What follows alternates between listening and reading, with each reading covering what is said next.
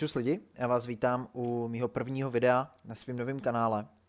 Eh, ještě předtím, než se vrhneme přímo do bitvy, tak bych rád eh, zmínil něco o tom, co tady na tom kanále budete moct najít. Já si myslím, že většina z vás mě už asi nějakým způsobem zná, ale kdyby náhodou se tady objevil někdo, kdo ne, tak eh, já už delší dobu spolupracuju s klukama z BB Betria, který dělají každopondělní streamy, který už jsou docela takový vyhlášený, řekl bych. No a já už jsem se teďka konečně dostal k tomu, abych mohl dát i vlastní videa a zatím bych to chtěl pojmout teda tak, že by to byly čistě moje replaye a ve kterém bych se vám snažil trošku přiblížit nějaký věci ohledně taktiky. Nebylo by to jenom vychloubání se nějakýma povedenýma bitvama, ale snažit se, aby vy jste si z těch bitev i něco odnesli. A jak asi můžete vědět, nebo kdo mě zná, tak bude to asi hodně ukecaný, protože já už prostě jiný nebudu takže komu se nelíbí uh, moc velký, moc rychlej projev, tak ať to může rovnou vypnout. A kdo mi třeba zná, bude to bavit, tak uh, tomu můžete dát uh, šanci. Takže já to nebudu asi díl protahovat. Máme tady první bitvu, která se mě povedla nedávno, asi pár dní zpátky, s balonkem a s bully. A jak si můžete všimnout, tak uh, matchmaking je více než libovej. Já jsem teda tehdy, když jsem to hrál, tak jsem ještě neměl zaplít tyhle ty statistiky, ale to není tak podstatný. Podstatný je to, že jsme tady jediný tři desítky na, myslím si, mapě, která je hodně, hodně příznivá pro metka. A uvidíme, uvidíte, jak se s tím poperem. Takže uh, já už tady nebudu dál teda uh, dál to zdržovat, necháme to odpočítat. Jak si můžete všimnout, tak co se týče skillu těch hráčů, tak jsme měli docela slušnou šanci proti nám. V podstatě byli dost jako neskušení hráči, anebo zkušení hráči, kteří to za tu dobu ještě nenaučili. Takže co se tohohle toho týče, tak mm, by to měla být docela jasná věc už dopředu. Ale jak uvidíte, tak to zas tak úplně nebylo. Je to teda s objektem 140, Body má taky 140, Balnek má STBčko, Uh, Objekt 140 je jeden z mých, dá se říct, asi nejoblíbenějších tanků, nebo jak možná můžete vědět, tak eh, já rád jezdím všechny desítkový metka, uh, což je další věc, kterou na tom kanále asi najdete především, tak bude gameplay s medium tankama, protože já jezdím asi tak v 80% her, možná se tady občas objeví nějaká hevina, rozhodně tady nečekejte žádný návody na TDčka ani na Artiny. Přičemž teda, kdyby náhodou někdo nevěděl, tak mi možná to někdy ujede a Artině řeknu houska, což je naše takový interní označení a neptejte se proč. Takže uh, teďka něco k té hře. Uh, vydali jsme se tady nahoru, což je taková klasická, klasická medium cesta, uh, klasická cesta pro, pro středáky, protože jste tady krytí od Artiny, která vás nemůže střílet přes tady ten velký kopeček napravo. No a zároveň můžete využít depresi, DPM a ten objekt má i velice slušný turret armor, takže tyhle, tohle jsou všechny věci, které se na této pozici dají použít. Mm nemají, víme, že nemají nic extra proti nám, uh, mají mediumka, mají Lorena, Petna, uh, Betcheta, to jsou tři, tři jediný jejich metka a dva z nich jsou o týr níž než my a ten Beťák není na takovýhle přestřování úplně nejlepší. Tady, si, uh, tady vám chci ukázat jednu docela zajímavou pozici, o které ne úplně všichni ví. A to je tenhle ten průstřel. Uh, pokud se vám tady takhle spotnou tanky, jak se, jak se to povedlo tady nám, ten Tiger 2 s tou S75, taky můžete takhle krásně trefit do boku bez toho, aniž by o, oni vůbec tušili, odkud to přišlo. Samozřejmě logicky budu střílet tu S5 než toho Tigra, protože to je důležitější cíl. No a tady si můžete všimnout, že zatímco já jsem uh, si tady střílel do boku, tak chudák Bully tady najel, pardon, mezi uh, tři autoloadery, což měl docela svůlíka v tomhle tom. No a ačkoliv jsme se mu tady ještě s bankem snažili pomoct, tak on zabil, povedl sám teda zabít toho Lorena, ale Bully už, Bully ho odsud už je tady spečetěn. Já jsem tady bohužel trošku zaváhal, nemohl jsem skopit na toho Betcheta dělo a to zapříčinilo to, že jsem možná ztratil jednu ránu do něj, ale mám ve výsledku, že by to asi nemělo. A neudělal moc velký rozdíl. Takže Badchat eh, bohužel zabil Bullyho, což byla smůla. Na druhou stranu možná a nám to dovolilo mít potom s balonkem takovou hru, jakou budeme mít. Takže ten Badchat už je teďka mám pocit vystřílený, možná se ještě vycákl trošku do balonka, ale povedlo se nám ho tady společně zneškodnit. No a tady už zbývalo to 50 kilo a já jsem předpokládal, že on už sjede dolů, a tady je právě problém v tom, že uh, pokud on sjede vlastně tamhle dolů, tak my kdybychom jeli za ním, tak uh, nás budou moct střílet vlastně tamhle z toho jejich, uh, jejich sniper postu tady a na té jejich bázi, což nechceme. No a viděli jsme, že tady jedou uh, tři jejich heviny, přičemž ta IS-8 uh, se nekoukala vůbec naším směrem. Takže nezbývalo nic jiného, než uh, si trošku jet nastřílet a uh, trošku je tady poškádlit dozad. Pardon, jsem ještě trošku nachcípaný. Uh, takže jo, balonok byl trošku pomalejší tady v tomhletom uh, manévru, takže díky tomu já jsem si tady už dal do té IS-8 dvě rány. No a pan z IS-8 se otočil na mě, takže tady nezbývá nic jiného než uh, jednoduchá taktika sidescrapeu. Uh, viděl jsem, že si můžu vystřelit na toho tygra, takže jsem mě taky vystřelil. A IS-8 mě dala pásy, v tuhle tenhle ten moment je, je jako zbytečnost si ty pásy opravovat. Ty opravy by se potom mohly hodit na nějaký další okamžik. Takže uh, to tady s balonkem tak nějak držíme, balonek nemá moc HPček, takže Uh, já jsem se tam nejdřív snažil, že to pojedu potankovat, ale tady jsem si všiml toho padekila, takže jsem se snažil uh, vjet do cesty tomu padekilu, aby, aby střílelo do mě a ne do balonka, což se snad povedlo. A ta IS-8 ne, nevím, co si myslel, ale jako moc mu to nepovedlo. No a to padekilo tady uh, může si všimnout, že to opravdu není zkušený hráč, což taky potvrdilo. A nebyl schopný mě naštěstí ani probít, takže tohle byly takový trošku free damage tady pro nás. A Uh, je to teda 4-4, my máme v podstatě všechny killy. No a měli jsme štěstí, že tady s náma byla ta IS-8, která uh, odlákávala pozornosti 7 5 Já jsem tady snažil, ačkoliv to podle toho replay možná nevypadá, tak jsem se ho snažil trknout, což se mě i povedlo. A on než se opravil, tak jsem musel dát ještě jednu a balon ho krásně ukončil, takže pro balonka už je to čtvrtý kill, což je super. No a už tady nám toho moc nezbývá, je tady Tiger 2 a na minimapě si můžete všimnout, že tam byla na střelu spotlá wafle. Takže ten Tiger jako to je takový bombonek, ještě měl takovou věž, takže o, to bylo co jasný. A teďka teda přijde, teďka teda přijde moment, ze který já se trošku stydím. to je ta série těchto těch tří nebo čtyř rád na tu wafli, protože to se, to se teda absolutně nepovedlo. To, to bylo fakt, no jako, dělejte, že jste to neviděli. to, je fakt, to je fakt hrozný, tady jsem se možná mohl zastavit, no. Ten to čert. Každopádně ta wafle už teďka měla být nejméně o 600 lehčí, má pořád full HP. Už jsem se konečně do něj trefil, do té psí boudy. A on z nějakého neznámého důvodu tady absolutně jako neřešil, že proti němu jsou dvě desítkový metka, který ho stří dozad a ještě si tam jako se snažil vystřelit tam na ty naše tanky vzadu. Takže tady, kdybych uh, byl trošku schopnější a byl schopný ho trefit, tak už měl být asi mrtvej. Bohužel nebyl, uh, nedá se nic dělat, prostě hold uh, i mistr tesař někdy utne, jak se říká. Takže tohle jsem teda trošku polamil, ale není všem konec. Uh, je to teda sice 6-9, ale tady bych chtěl říct, že tahle ta pozice na tom středu je strašně důležitá. Uh, pokud vyhrajete tady tenhle ten vršek, tak můžete tady v podstatě odsuť. Je strašně skvělá pozice v tom, že můžete střílet na uh, celý tamhle ty duny prostě vzadu. Uh, máte tady krásný rozhled po celé mapě. A jediné, na co si musí dávat pozor, tak je vlastně tady tato jejich kempí, ten kempící spot, uh, kde si můžete na minimapě všimnout, že byl Spotlight ten T28 prototype.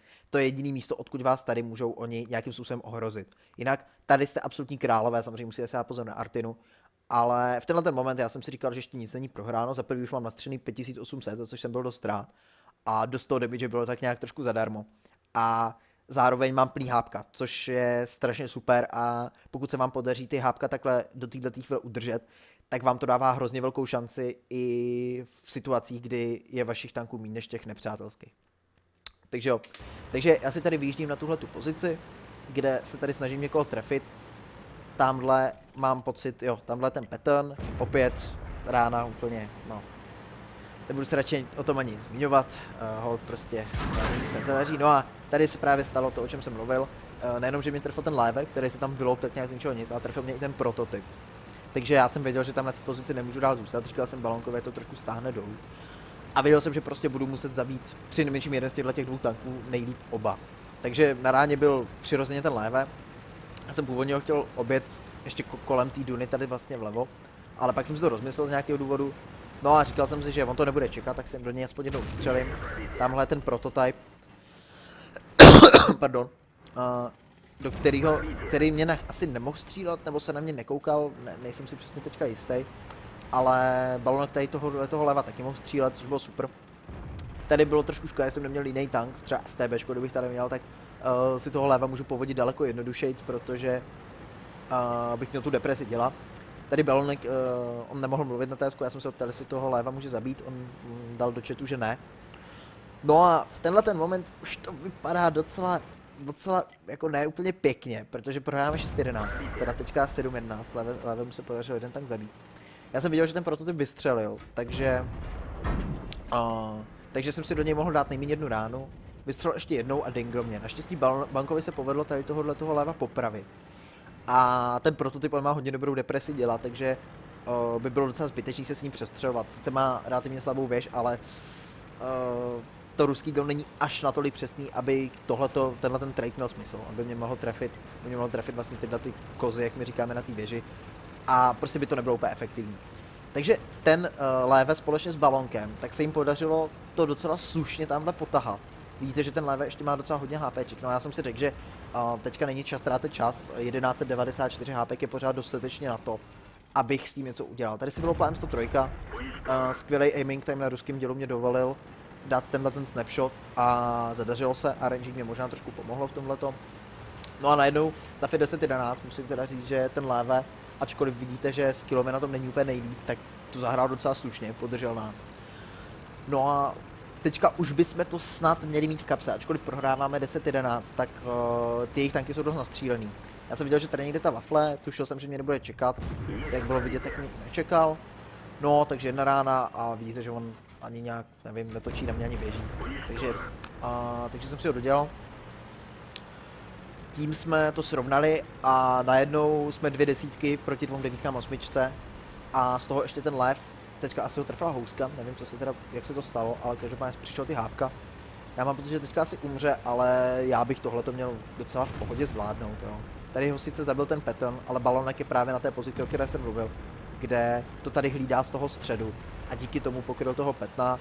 Já jsem si tady přijel, proto veze to, dal jsem mu sice malý roll, ale zároveň jsem ho zapálil, takže o, takový štěstí v neštěstí.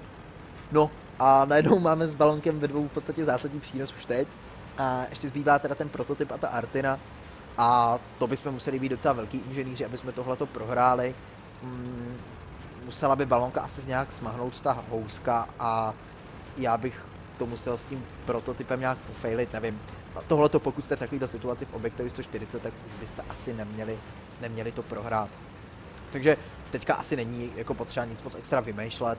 Uh, ten prototyp má, já si to pamatuju, ale vlastně díky XVM můžete vidět, že má 554 HP, což jsou dvě moje rány.